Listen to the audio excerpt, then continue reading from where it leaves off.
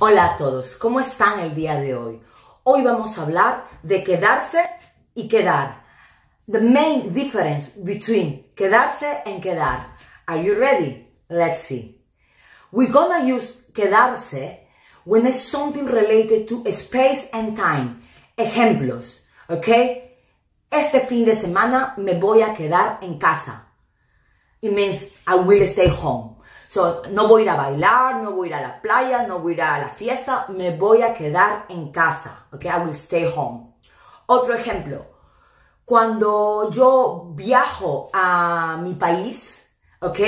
Siempre me quedo en la casa de mi familia. ¿Ok?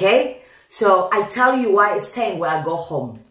¿Ok? So, moving on to quedar it have actually different ways, itself, okay? It have different ways to be used, this verb. One of them is if something suits you or no. What do you mean? Okay, I can tell you, María, eh, ese peinado te queda muy mal.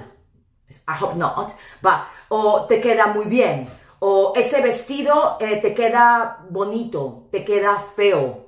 O esos pantalones eh, son muy sueltos o esa falda eh, te queda muy suelta, te queda muy ajustada.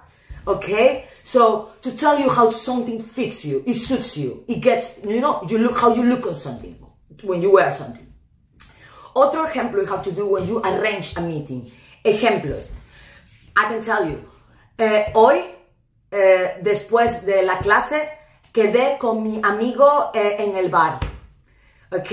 O el fin de semana eh, he quedado con mis amigas para ir a la playa, ¿ok?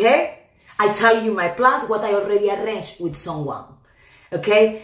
And uh, another important one is what is left, quedar at something left.